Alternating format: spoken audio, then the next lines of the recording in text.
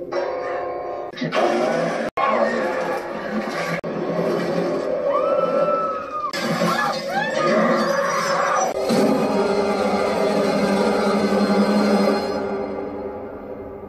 the Halloween Movie Marathon Part 3, and today I'm bringing out the vampires. Not the Twilight vampires, John Carpenter's vampires.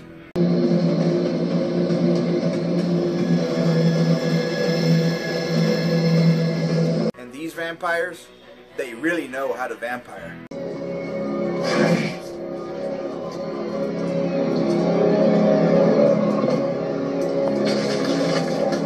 And we're gonna need Jack Crow and his crew to find them. All right, we think we got a nest inside this place. Figure out at least six goons, maybe more, and chances are we'll find the master in here somewhere. because they're vampire hunters. That nest that they just cleared, that was Valek's nest. So now Jack has to clean up the mess.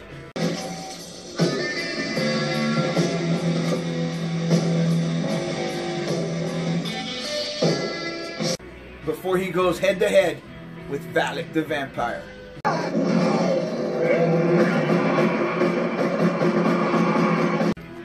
These are vampires.